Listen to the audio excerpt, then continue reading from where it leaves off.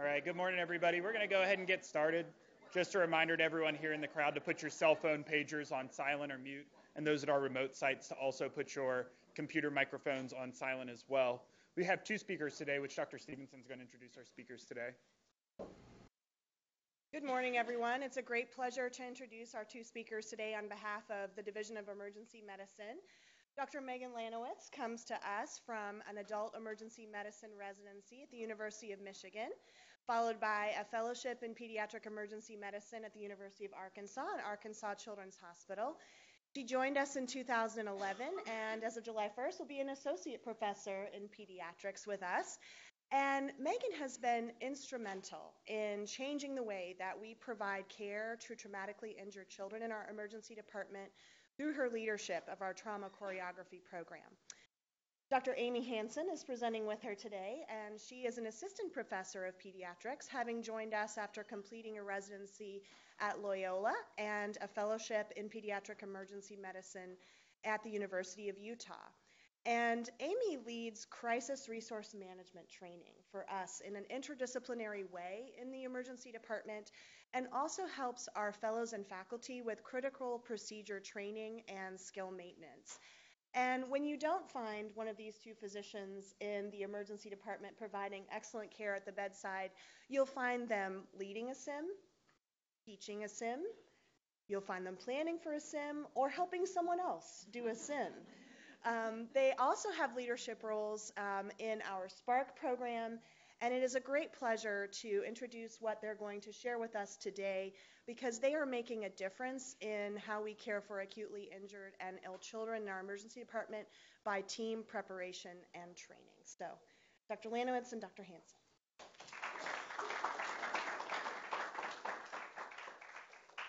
Thank you so much for that introduction, and thank you for the opportunity to speak to you today.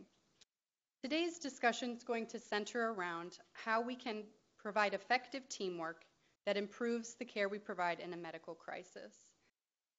We chose this topic um, because we all work in medicine, and so emergency conditions can and will occur to all of us at some point. They may occur in different settings. You may be experiencing a child who's having a seizure in your clinic, or um, a patient who has worsening clinical status on the floor in the ICU or potentially the operating room. If you've ever cared for a patient experiencing a medical emergency, you can appreciate that even the best laid plans can fall apart in those conditions. So here we're presenting a method of bringing order to that potential chaos of medical crisis. We have no disclosures to make. Our objectives today are to understand what the principles are of effective teamwork in a medical crisis, specifically the team dynamics that come into play in those situations. We'd also like to recognize and avoid the common human errors that occur when working in teams. Then we'll apply the principles of effective teamwork to a clinical setting with the goal of continuing to incorporate these principles into our practice so we can improve the delivery of care we provide to our patients.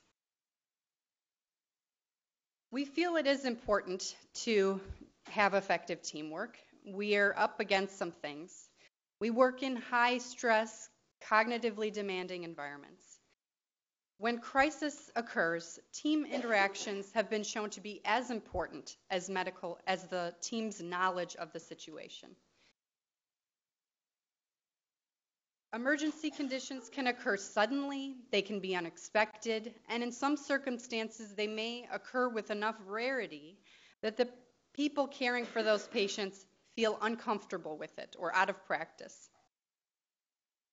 When JCAHO um, has evaluated medical errors, they found that 70% are linked to breakdowns in communication or other human factors. And maintaining effective performance under stress is essential because we all have a goal of decreasing errors that can lead to morbidity mortality. Errors can occur despite our technical expertise, and we all care about what's best for our patients. And we want to take the best care of them that we can, and we are all responsible for the outcomes of our patients. I'd like to borrow a story from the airline industry to help illustrate the point that I'd like to make. I think the picture is a bit of a giveaway, but stick with me. This is Eastern Airlines Flight 401 to Miami International Airport back in 1972. As the crew is flying, they notice um, upon their landing approach that the landing gear light has gone out in the cockpit. They recognize that they need to figure out is the landing gear actually down or is this a malfunctioning light bulb? The captain sets the plane in autopilot while they work on this issue. Inadvertently, however, the captain disengages the autopilot. As the team works to ensure that the landing gear is down and try to fix the light, the plane slowly loses altitude. There are multiple alarm warnings heard to be going off in the room that are un- that go unnoticed by the team. It only takes 90 seconds for them to lose enough altitude that by the time they realize what has happened, uh, it's unrecoverable, and the plane crashes into the Everglades. 101 of 176 people died. Um, and this was really the first major airline disaster that occurred. A series of other mistakes in the airline industry brought increased scrutiny to it and provoked change. Few have argued about the parallels between the fields of aviation and medicine because both have hours of normalcy punctuated by moments of sheer terror. Most people, I think, see the benefit in borrowing those best practices. What does a teamwork error look like in a medical setting? Most often, our own lives are not at risk, but other people's are. In this situation, a woman named Elaine Bromley in 2007 was undergoing a routine nasal surgery. She, upon sedation, was unable to be intubated and unable to be ventilated. Anesthesiologists worked aggressively to help be able to ventilate and intubate her. However, her saturations were 40% for a prolonged period of time. OR nurses recognized that the patient urgently needed ventilation. They opened a trach kit to the bedside and left it open. But anesthesiologists continued their work in attempts to intubate and ventilate her. After 20 minutes, they were successful at establishing an airway, and the patient was admitted to the floor. Over the next 24 hours, however, she experienced worsening symptoms of hypoxic brain injury and subsequently died.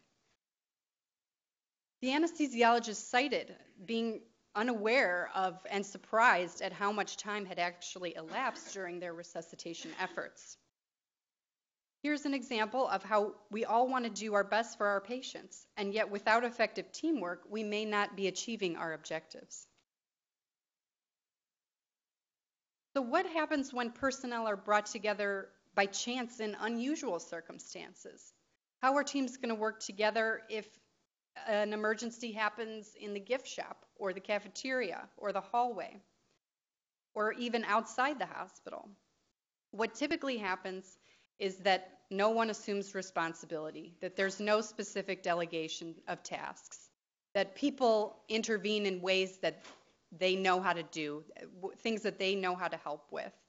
But the team really wants and needs a leader, needs someone to stand up and um, start leading the group so we can have the best outcome.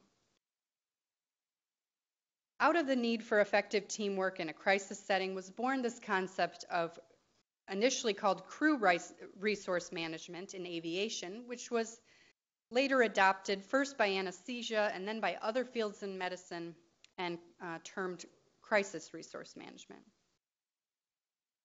We'll be discussing exactly what crisis resource management is, um, but it essentially is a form of communication um, when caring for patients in a medical crisis. It's sort of the common language that we can use um, between people who may have never met, may have no idea what skills other people in the group might have.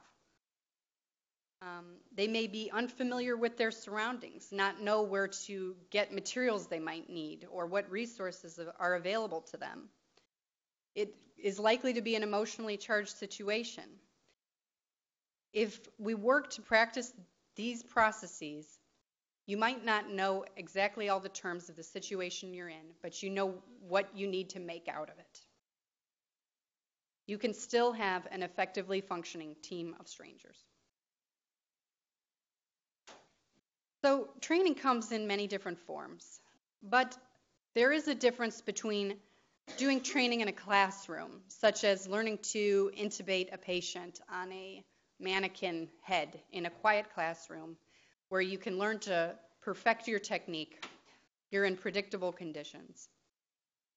This is different than stress inoculation training. So that's where you have the added pressure of time. It's a time sensitive procedure you might be performing. Some ambiguity is this the right procedure I should perform? I'm not entirely sure.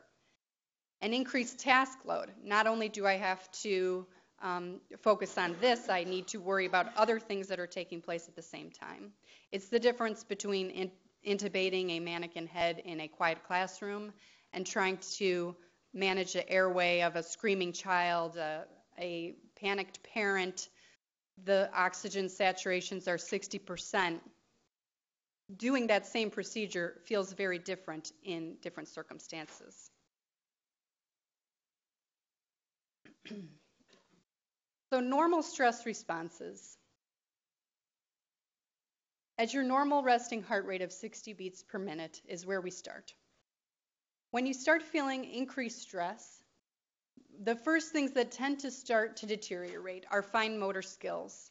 That could make it more difficult for a person to perform necessary critical procedures on their patients. As stress increases, complex motor skills can deteriorate, as well as things like cognitive processing. Um, problem solving becomes degraded thinking through the process of how you want to care for your patient becomes more and more difficult. You can also start to have some tunnel vision, losing your peripheral vision, not taking in all the information that you need to be doing. You can also have auditory exclusion, where you start ignoring things that are being said because you cannot manage that amount of incoming stimuli.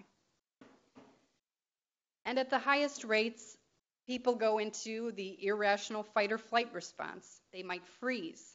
I think we can all agree no one wants to be voiding their bowel or bladder in the trauma bed.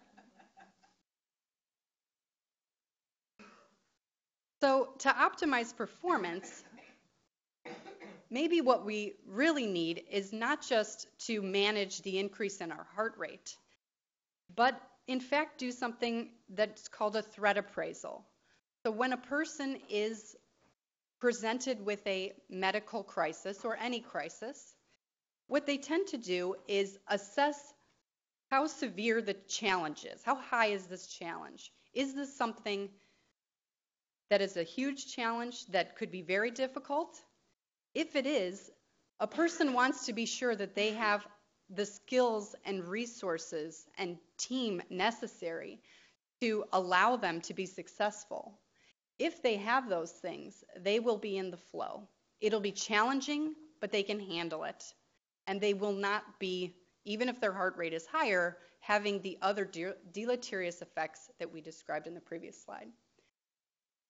If you notice that the challenge is quite high, but you don't feel you have the resources necessary to manage it, you're going to be experiencing a large amount of anxiety.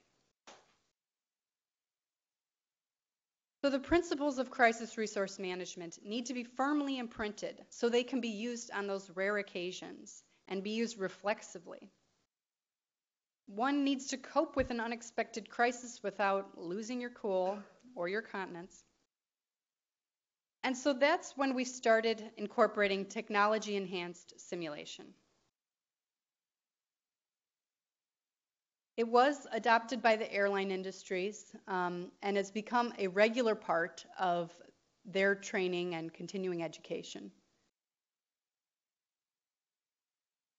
As of about 1966, there was the first um, human simulator mannequin. Um, was kind of rudimentary, but in the 90s it was adopted by Dr. David Gaba, who really created the first more modern um, human high fidelity simulator.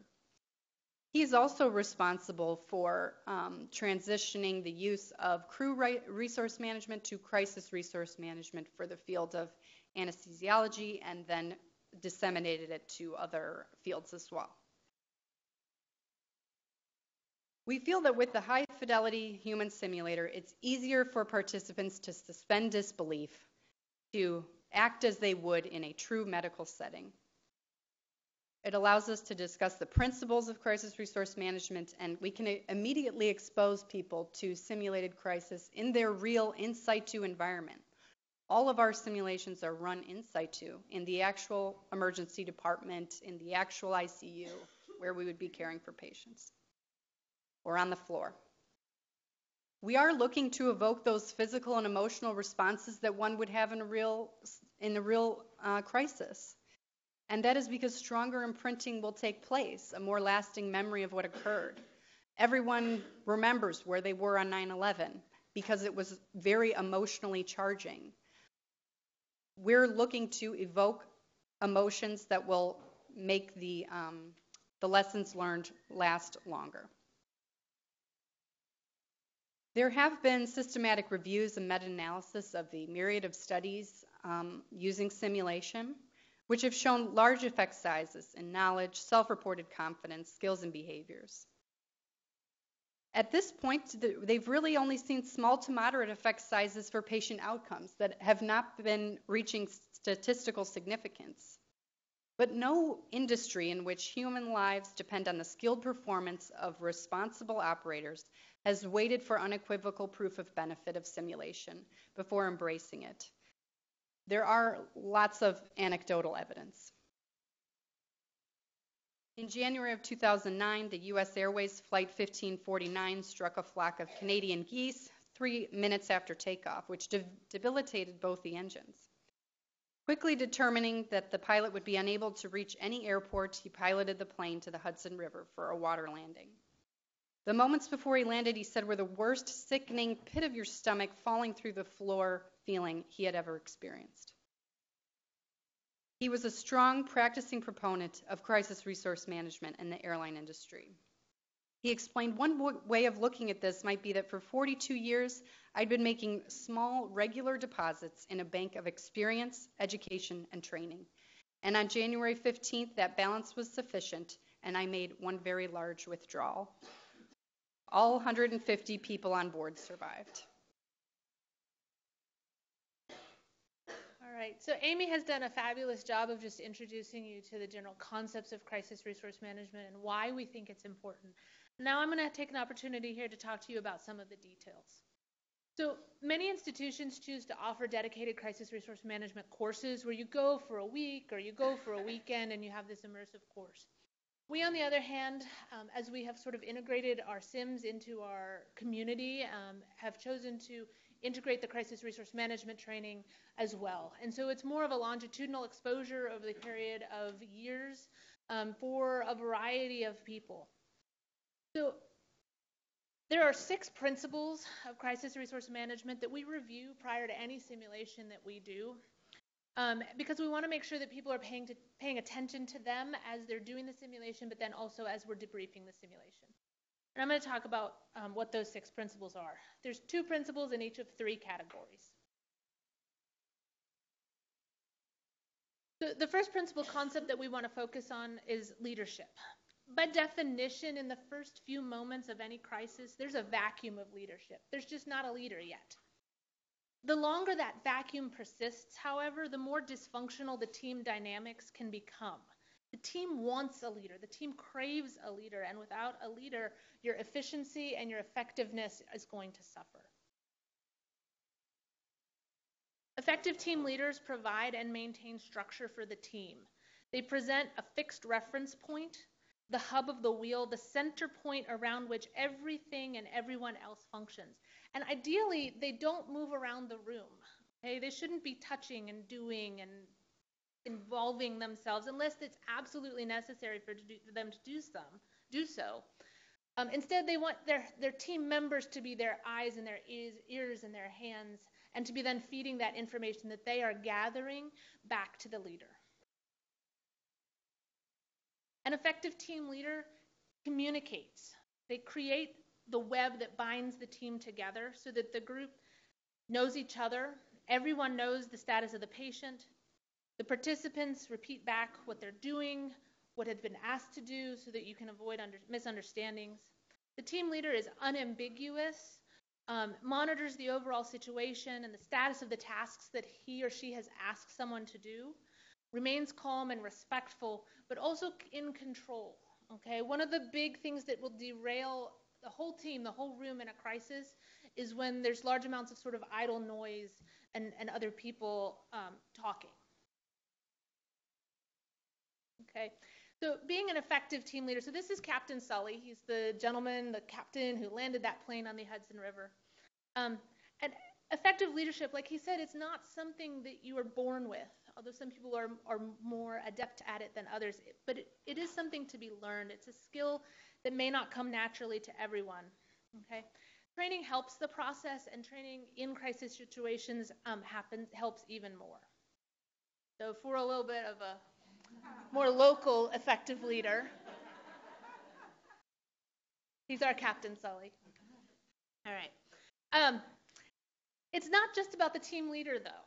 All right. It's also about the team. The team, the plane, the patient can sink or swim, crash or soar, live or die based on the team member's effectiveness as well. So having a good leader, but having a team that is just all over the place and not communicating will also result in negative outcomes. Okay. Criticism and confrontation in an aggressive or negative way in the middle of a of a code or a, or a crisis situation is, is not what you're going for. But you should still have an environment in which people are comfortable to speak up if either they're confused or they're concerned that something is not going the way that you are expecting it to go. So depending on your situation, this is kind of what a, a team may look like. Um, you can have as many as eight roles in addition to the team leader. Okay, some of these can be combined reasonably well. And there's a variety of different sort of staff and, and levels of training that can fill some of these roles. Uh, and, and it's really going to be up to, to the team leader and, and to the situation in terms of who's going to fill what role and really what roles these need what roles need to be filled.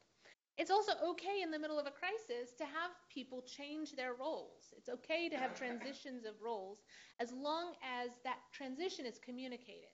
So maybe the person who was the, the patient assessor and was helping with CPR, maybe they are better skilled at intubating than the person who was initially the airway provider, and they need to swap. And now the person who was the airway provider needs to take over as the assessment and CPR, and the person who was the assessor needs to, to try the intubation.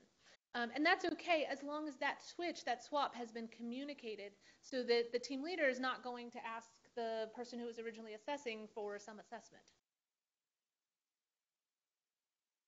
All right, so the next category or section of the crisis resource management principles that we teach is, is centered around communication. All right, so communication ideally starts with the pre-briefing um, on an expected patient who you know is coming, which is um, thankfully the environment that I work in most often. Most of the time I know somebody who's sick is coming. It can be one of the most important parts. It's an opportunity to get the team all on the same page. Here's what we expect. Here's how we expect it to go or what we expect to do about it. Um, if procedures are anticipated or medications are anticipated to be needed, they can be prepared ahead of time. That's going to save you time on the back end once you have the patient. Um, ideally, it happens before the patient arrives, but not always is that possible.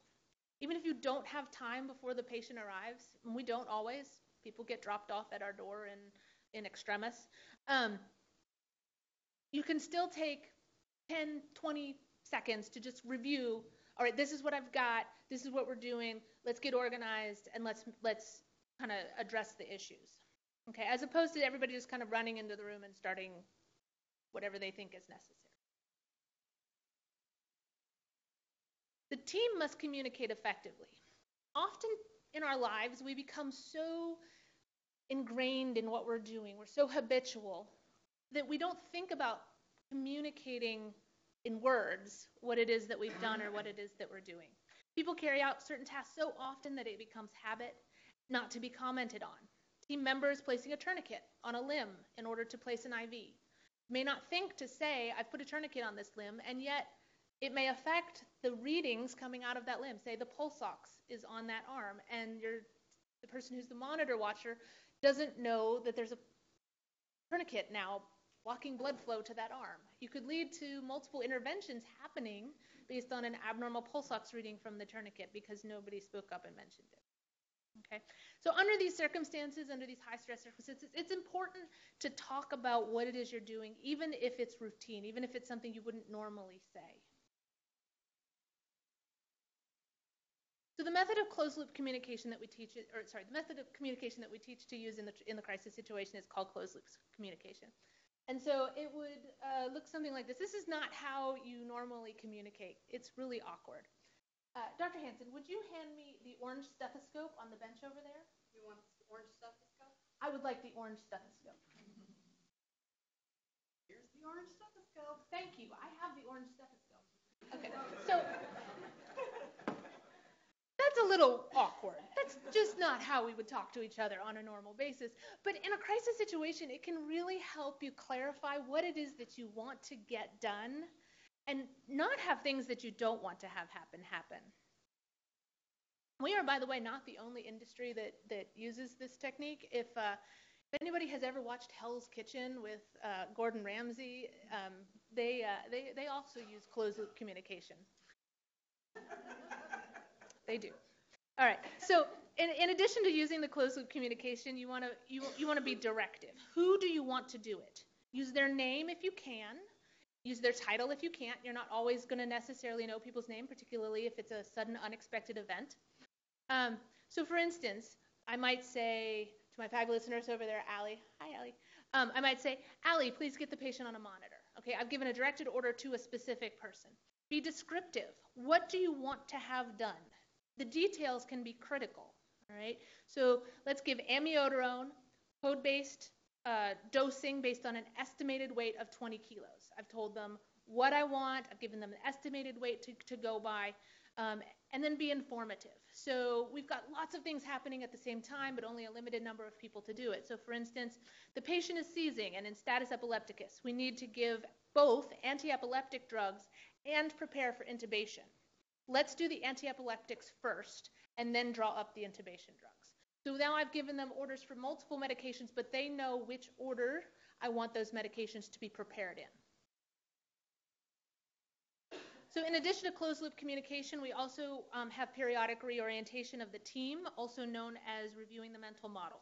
This is a brief recap, ideally happening about five minutes into the situation, into the crisis, that allows the team to be brought up to speed as they've been focused on their individual tasks. They've been examining the patient. Maybe they've been intubating the patient. Somebody else maybe have gotten the history. All that information has come back to the team leader, but the other team members don't have that information themselves. So doing a periodic reorientation allows everybody in the room to be brought up to speed. It also allows the team leader to invite other ideas from the group. This can be particularly important in a highly complex or unclear case where you're looking for ideas like what is my limited human brain not thinking of in this case. All right. So then the last category of things we teach in the crisis resource management is avoidance of errors. Mistakes happen. We're all human. Okay? It, we're not referring to errors like the wrong diagnosis or wrong medication, but rather errors that are related specifically to the team interaction. So Amy got to tell you a story, and now it's my turn. So on August 6th of 1997, Korean Airlines Flight 801 was headed to Guam with an experienced flight crew. The jet was preparing to land in heavy rain. Visibility was poor. The radio system at the airport that broadcasts to the plane where they are um, in space was malfunctioning. Okay, but the pilot didn't know that. He'd not gotten the message, and he was getting a signal from some other beacon that he thought was the signal from the airport. The co-pilot and flight engineer, um, which they heard discussing when they recovered the flight recorder, um, made repeated mention that the airport is not in sight. Okay, why are we trying to land just yet? We can't see the airport. Are you sure that the radio is working properly? To which the captain said, Yes, I, I have the beacon signal. It's working properly. They made multiple statements like, We can't see the airport. The rain is awfully thick. I, I know what I'm doing. We're, we're, we're good. Right up until they flew into the side of a mountain. Um, so the alarms for low altitude were ignored because he was relying on the, the beacon that he thought he had. Um, and they crashed three miles short of the airport. Um, 228 out of the 254 patients died that, or patients, passengers died that day. All right. So in the Elaine Bromiley case that we've talked about briefly, um, the OR nurse opened the cricothyrotomy kit and placed it next to the anesthesiologist, but didn't directly call the attention to the persistent hypoxia or the amount of elapsed time. Didn't explicitly state her concern. And then closer to home, a two-year-old patient comes in with vomiting and difficulty breathing. Um, heart rate on initial assessment is 210. The patient is fussy but otherwise not distressed. She's placed on a cardiac monitor and noted to be an SVT. An IV is placed, and the team leader asks for amiodarone rapid IV push. The medication nurse checks the code book for the appropriate weight-based dose of amiodarone, hands it to the bedside nurse who pushes the medication. The patient then becomes profoundly bradycardic, hypotensive, requires CPR, intubation, pressors, and PICU admission. In follow-up, the nurse thought the medication choice was odd, but had worked with that provider for many years, had great confidence in, in him or her, I actually don't know, but little confidence in herself. She just didn't think she knew enough to question the order. All right? The team leader is not an absolute monarch. All right? They are human just like all of the rest of us. They can have a bad day. Um, they're not unchallengeable. They don't necessarily even need to be the person in the room with the largest knowledge base. They don't necessarily need to be a physician. The team should always have a clearly defined team leader, but this shouldn't create a rigid hierarchy. To treat them as such is to invite an air of hierarchy. Instead, the team leader, like I said before, is the hub of the wheel, and that wheel is designed to take the team where the team needs to go. So errors of hierarchy can be avoided by flattening the power differential and by empowering people to speak up and encouraging questions. In the case of the Korean Airlines flight, the way they solved this problem was to actually change the language that was spoken in the cockpit, cockpit to English rather than Korean. Korean society is very hierarchical, and in the Korean language, there is no words available to them for a, a lower level officer to question a superior. It just doesn't exist. So they changed it to English because we're better at it. in our case, we've, in, we've implemented multi, multidisciplinary simulation sessions with faculty and staff and residents and nurses and fellows. And periodically, we actually use a confederate um, to intentionally introduce a medication error and see if anybody will question it. You'd be amazed at how many times it doesn't get questioned. But people come out of those simulations knowing that it's okay to question if you're concerned about an order. All right. So the second major error that we talk about in crisis resource management is the error of fixation. Fixation can occur at many levels. Okay, so you can have um, an an error of fixation at the team level. The defibrillator is not working, and everybody tries to fix it while nobody monitors the patient. At a diagnostic level, Occam's razor does not always apply in medicine. The simplest exclamation is not always the best. And at the individual level, particularly with regards to the team leader, if the team leader has to become involved in a procedure, which sometimes that needs to happen, the team should still not be without a team leader. You can transition that leadership to somebody else in the room while the team leader performs the procedure that is necessary for them to do. So with regards to the Elaine Bromiley case, the anesthesiologist involved, like we said, when they reviewed the case, had no idea that the patient had been hypoxic for more than 20 minutes. When you're engaged in trying to address a problem, time can get away with you, to get away from you, and, and damage can happen in that time.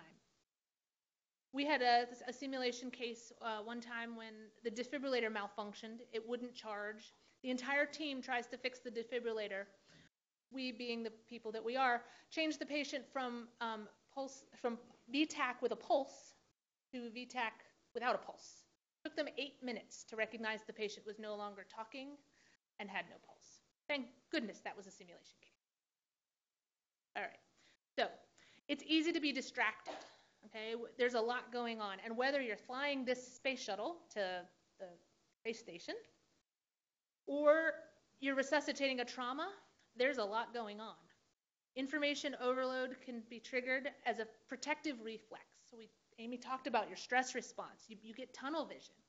Okay, and the most obvious or attention-grabbing problem being, a, being it being a malfunctioning landing gear light or an amputated extremity may not be the most urgent or the most imminently life-threatening problem that that person or that situation has. All right, so now something. And now for something completely different. Would you like a piece of candy? Um, yes, please. Okay. Here you go. Then the wrapper, thanks.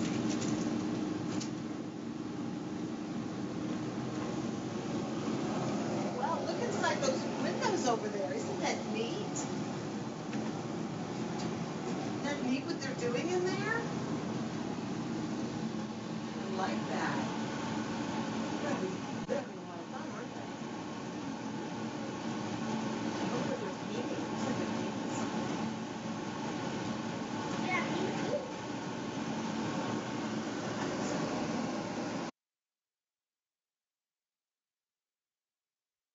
Yeah. Help! Someone help me, please! Yeah, you okay? Buddy? What happened? I don't know. I gave him a piece of chocolate and he started gagging and he told me he couldn't breathe and he collapsed. Can I get some more help down here, please? Buddy, buddy, you okay? You okay, buddy?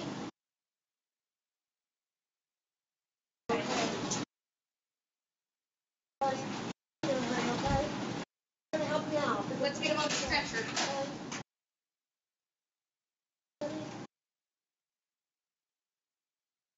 Buddy?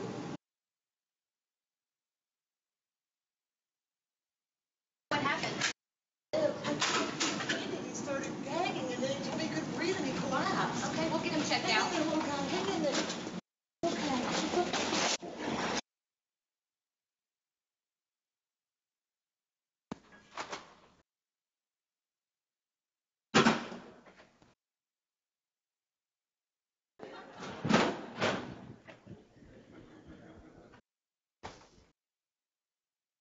Okay, little buddy, hang in there. It's okay. What's happening to him? Come on, little buddy, hang in there. Keep breathing for me, okay? Just keep breathing.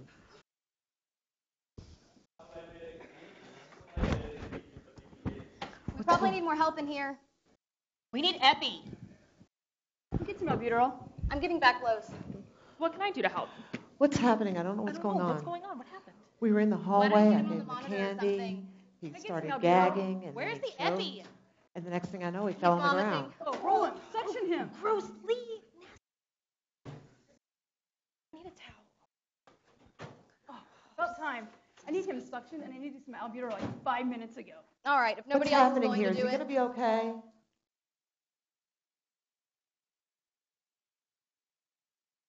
Are these hives? I think so. He's Here's never the had Epi. hives before. No, no, no, no. That's not right. I don't think that's right.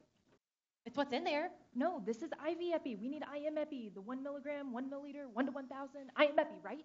Yeah, I am epi, but why are we giving epi? He's barely wheezing. We haven't tried albuterol yet. What's happening? Okay, thank you guys.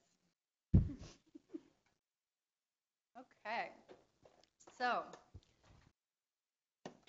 show of hands, Who here has ever participated in the medical care resuscitation of patient that had any of the medical issues that we saw here? Okay. So what teamwork issues did the group experience? Ones that maybe people have seen in real life before. Does anyone care to share? No leader? Yeah. No role? Um, okay. Anything else that anyone noticed? Okay.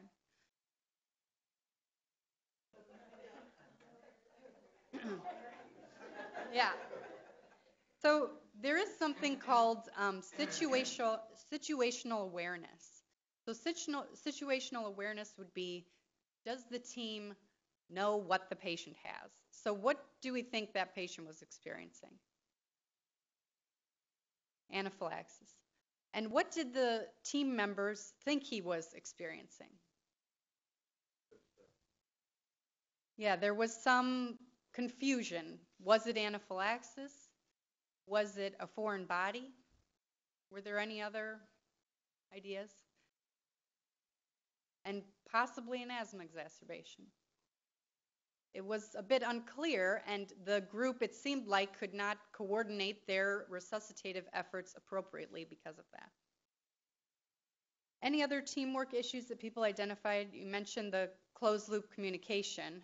Um, what did people notice with regard to that? How were the how were the orders being given?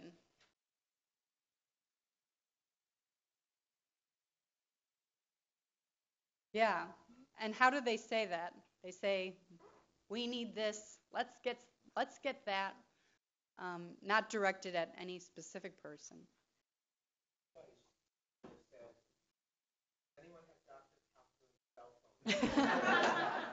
Using your resources. Get it to them. That's using your resources right there. Yeah. Um, and then what about in regards to the epinephrine? What do people think about the exchange that took place regarding the epinephrine?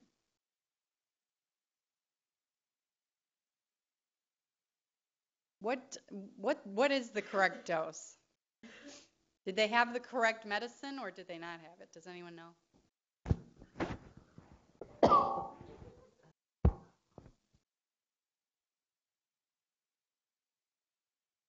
Yeah. So they were in fact carrying the um, IV dose of the medication and not the IM dose. That is a very big problem that we see. And, you know, there's a lot of different measures taking place to help try to remedy that, you know, referring to it in different ways, different packaging to try to prevent that. Um, but the because the orders were unclear, the medication that was chosen was incorrect. And easily in this patient, uh, it could have been administered in error. It really has. And, you know, what would be the possible outcome to the patient from that?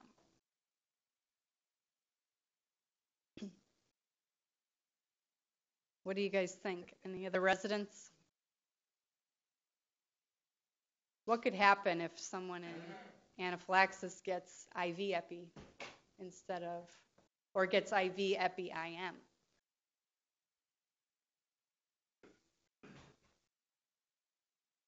They might feel great. they might feel great, or they might not. If they might have an arrhythmia, they could have other, um, yeah, hypertension is a serious concern. Yeah. So the errors that people make can have real effects and possibly very damaging effects on their patients. And what else? Interactions. Uh, what was the tone of the interactions of the team? Did you feel like that was a comfortable work environment? Sorry. Speaking to the mic. Uh, what, what was the tone of the interactions that, that you that you that you observed? Was was that a comfortable work environment? Would you wanted to be a team member in that in that resuscitation? Why? What did you hear? What did you see? How did it make you feel? Okay. frantic. Dis- what, how, what was disrespectful? Like what? Um, yeah.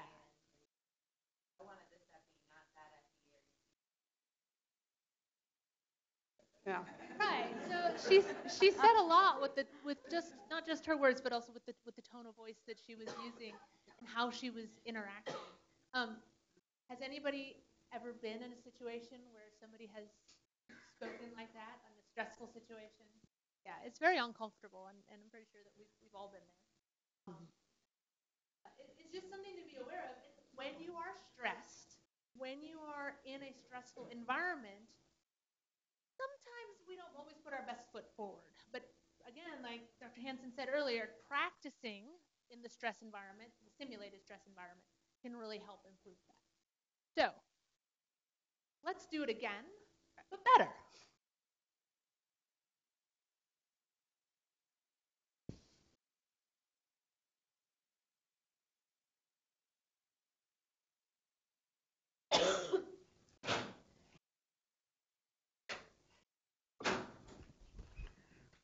Hang in there, little buddy. You're going to be okay. Lee, Hang can in you there. go get some more help?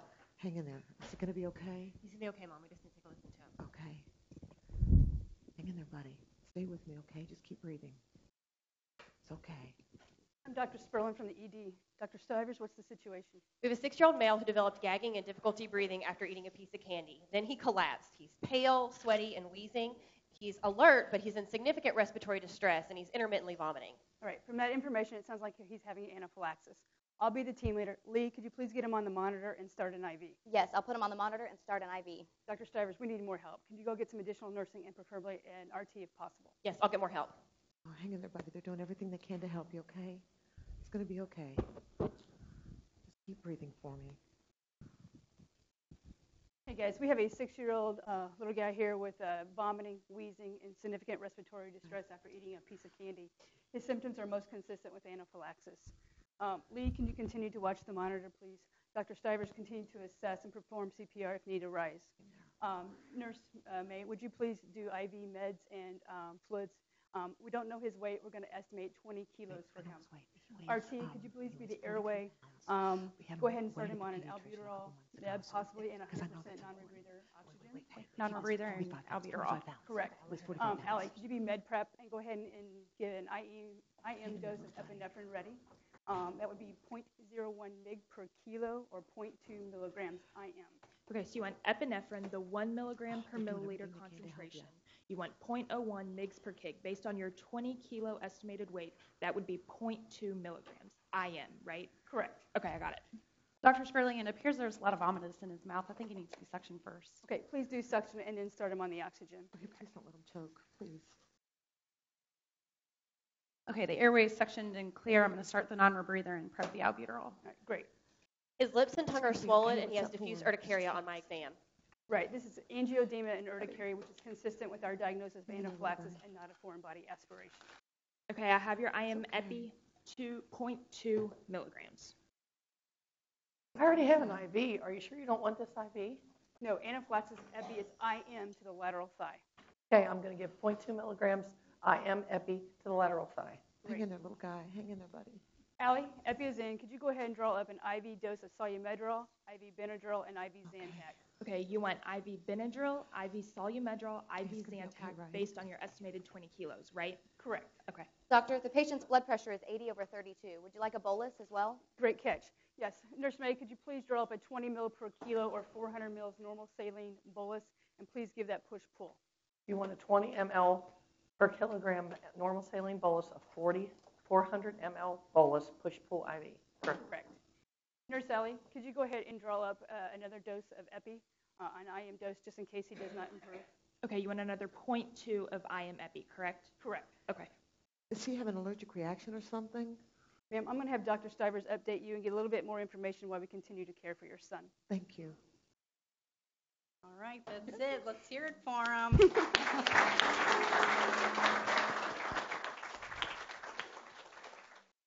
Okay, so hopefully you can appreciate the differences um, in those resuscitations.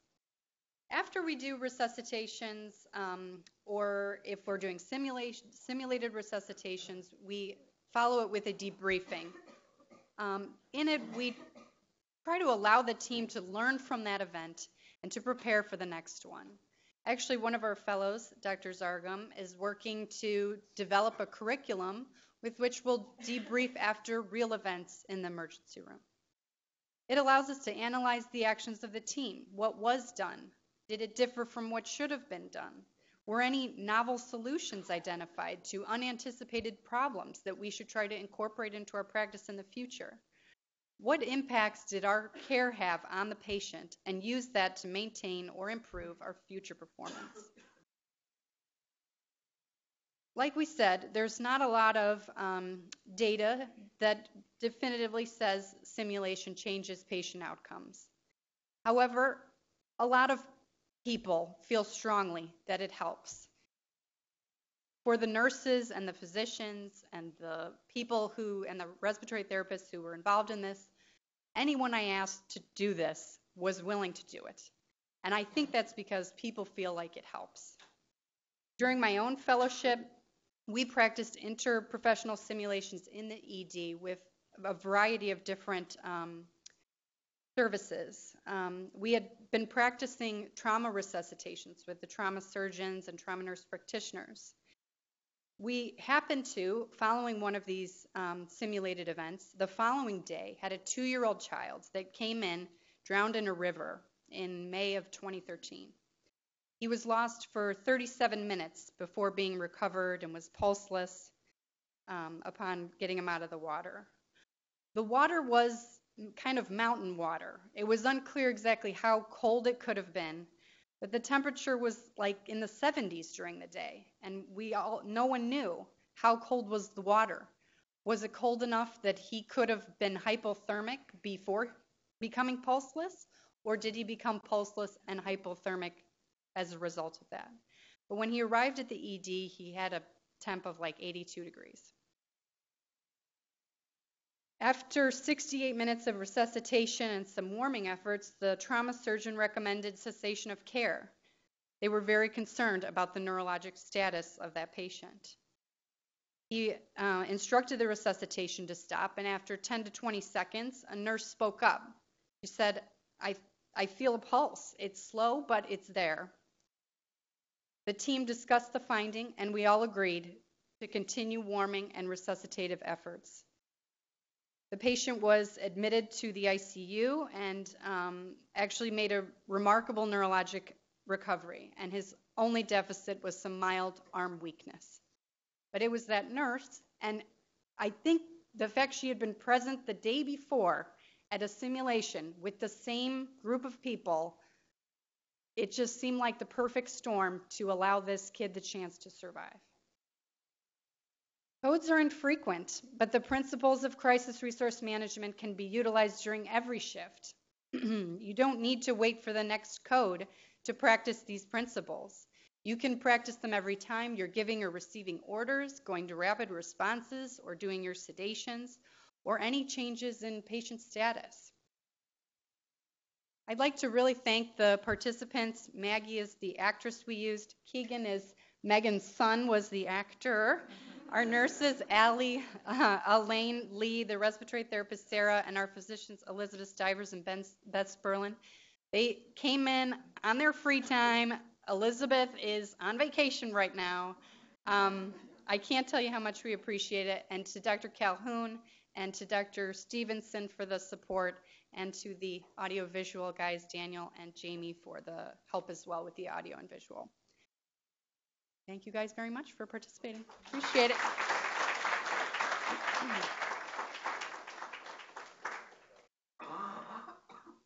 It's really great, and thank you, um, thank you for that. I, one simple question: I noticed during the simulate, the good simulation, mm-hmm. that there was a mixture of generic drug names and trade names. And I think that's a potential yeah. pitfall for confusion. Yeah. So as a should we ban trade names forever from the hospital? In orders, in our oral communication, Zantac has a generic name. Yeah. Solu-Medrol has a generic name, and I just think it's a potential uh, for things I, to get I agree. confused. Yeah. So I, I, wonder, is that is Jan here or someone from P and T. I mean, is that is that a JCAHO standard? Or are you supposed to use trade? I mean, I hear patients all the time are started on Rocephin, not Yeah. ceftriaxone. I think it's wrong. I think you're right. And I think a lot of stuff is saying we should be using those um, generic names. Even epi is not recommended. We should be saying epinephrine, you know? Real quickly, I have to run to another meeting, but I, I want to say thank you. Thank you. Uh, this is important work that we do. You know, we think of science as being in the laboratory and sometimes a clinical trial, but if we don't carry those types of uh, that knowledge into the bedside effectively, it doesn't matter. Yeah. And this is a critical type of work that gets that that final, you know, 10 yards Mhm. into the end zone that is so critical. So we need to do more of this. Uh, education research is a Yeah. big piece of where we need to go. Kim, you can comment further on that, but uh, just so you know, I, I think this is very valuable work. So thank you. Thank you.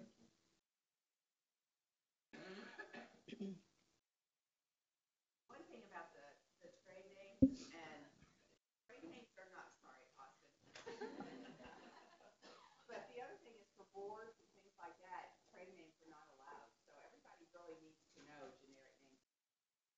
For our trade, we weren't allowed to use trade names. Little and Mm. quarters or anything like that. So I think it's really up to the, the institution. if they want to decide. What's the structure? What's the uh, policy structure?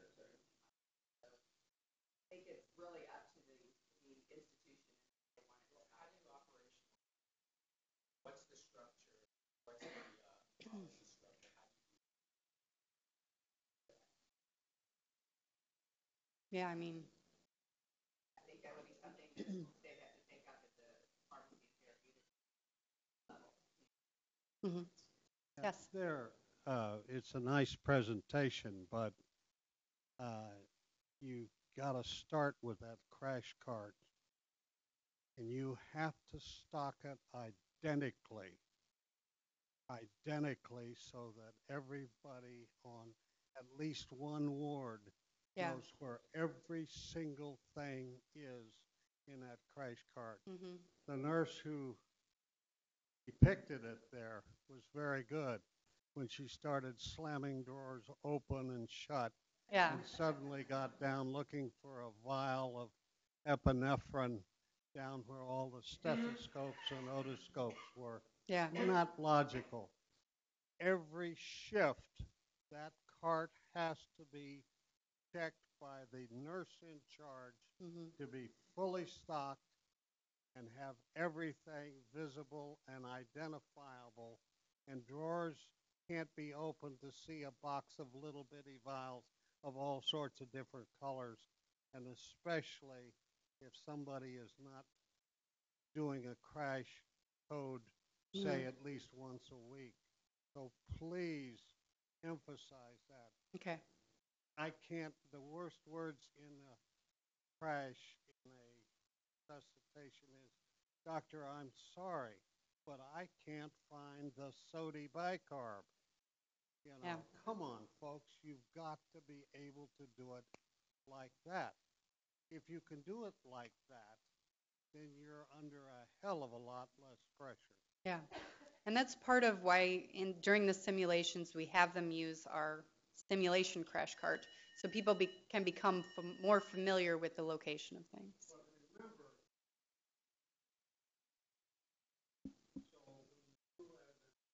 Yeah.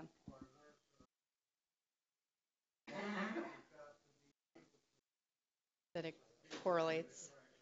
Okay. Thank you.